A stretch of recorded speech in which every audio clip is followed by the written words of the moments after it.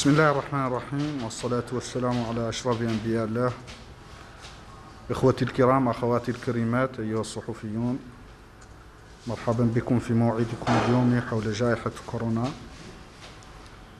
يتميز هذا اليوم بتسجيل 77 حالة جديدة من بينها 73 حالة مخالطة وأربع حالات مجتمعية كما يتميز بتسجيل 85 حالة شفاء ولله الحمد.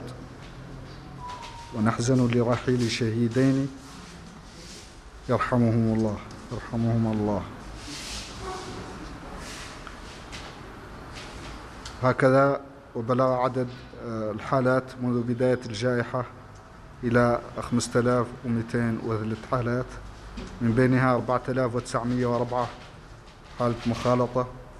و145 حالات مجتمعية و154 حالات وافدة كما بلغ عدد حالات الشفاء 2111 والوفيات 146 ليتغمدهم الله كلهم برحمته الواسعة وليشفي جميع المرضى.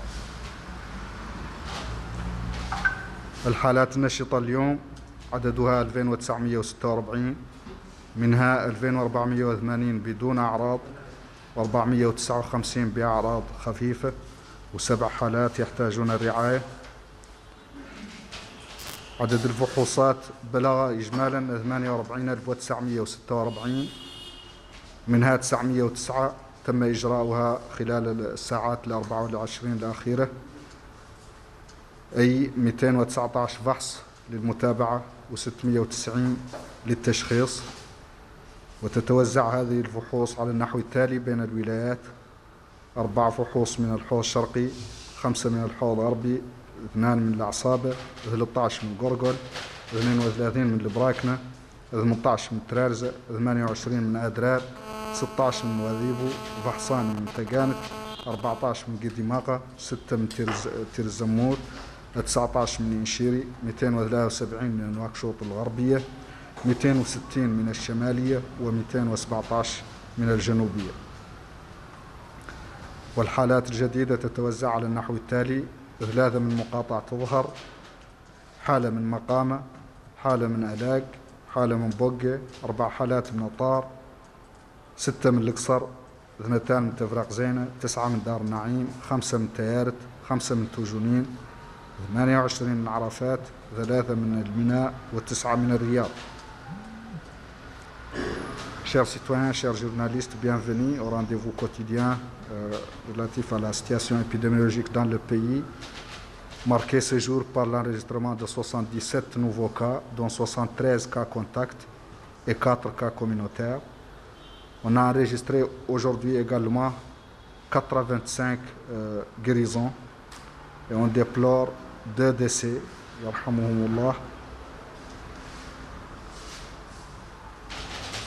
La situation euh, depuis le début de l'épidémie, de donc, euh, on note 5203 cas enregistrés depuis le début de l'épidémie, dont 4904 cas contacts, 145 cas communautaires et 154 importés. Le nombre de guérisons est a atteint 2111 et les décès 146.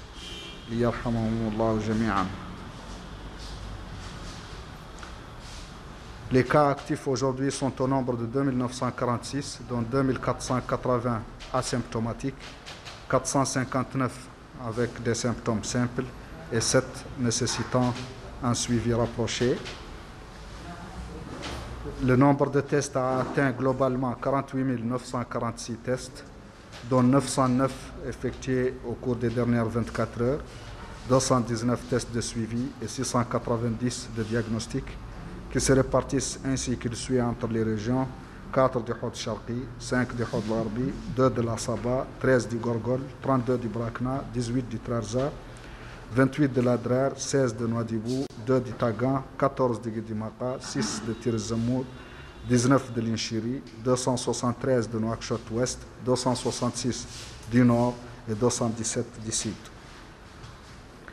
Les nouveaux cas proviennent des Mokata'a suivants suivantes. Dhar 3 cas, Makama 1 cas, Aleg 1 cas, Bogué 1, Atar 4, Luxar 6, Tevrakzen 2, Darnaim 9, Théaret 5, Toujounin 5, 28 à Arafat, 3 à Elmina et 9 à Riyad. Sur ce, je vous remercie. Assalamu alaikum wa rahmatullahi ta'ala wa barakatuhu. Wa ila Inch'Allah. إذا مشاهدينا الكرام تحدث مدير الصحة العمومية الدكتور سيدي السحاف عن تسجيل 77 حالة شديدة اليوم منها 73 حالة مخالطة وأربع حالات مجتمعية.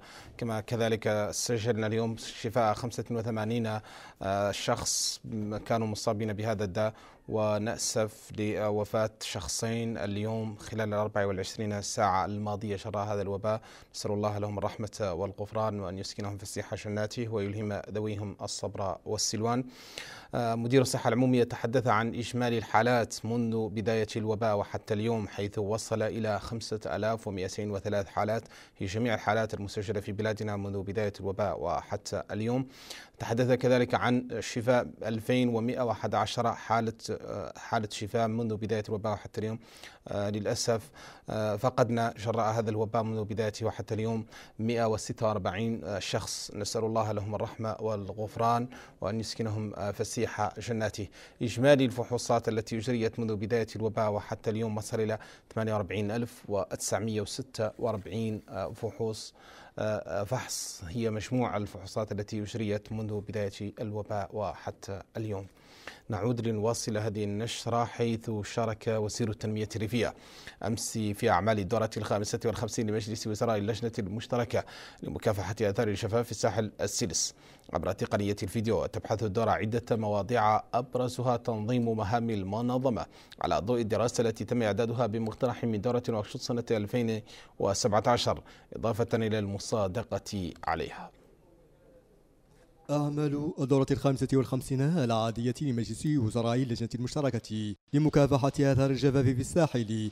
السيلس تنطلق عبر تقنية الفيديو وذلك بمشاركة بلادنا من خلال وزير التنمية الريفية. افتتاح الدورة المنظمة عن بعد برئاسة وزير الزراعة والاستصلاح الريفي البوركينابي ساليفو وادراغو. تم خلاله بحث عدة مواضيع من أبرزها مهام منظمة السيلسي على ضوء الدراسة الخاصة بالمواضيع التي تم إعدادها بمقترح من دورة واكشوط 2017 مع المصادقة عليها. كما تضمن جدول أعمال هذه الدورة استعراض حصيلة عمل المنظمة في الفترة الأخيرة مع تقديم برنامج عملها للعام الجاري. وهذا الاجتماع كان آه، مبدئيا ينظم في تشاد في الشهر شهر مارس الماضي إلا أن الجائحة اللي خلقتها هي هي اللي أخرته. ومشاركة موريتانيا اليوم ستكون إن شاء الله بإدلاء برأيها في هذا إعادة التنظيم للمنظمة من حيث أنها تستفاد منها جانب آه، محاربة خاصة التصحر ومساعدة المواطنين في الأرياف وإضافة إلى أن المنظمة عندها أربع مشاريع في موريتانيا آه، تمويل مختلف. من الشركاء إذا تستفيد من أربعة مشاريع في البيطرة وفي الزراعة. إذا آه، دور مهم للمنظمة في المساعدة في التنمية في بلدنا. هذه الدورة تدخل في إطار التحضير لقمة رؤساء دول وحكومات البلدان الأعضاء في منظمة السلس. المزمع تنظيم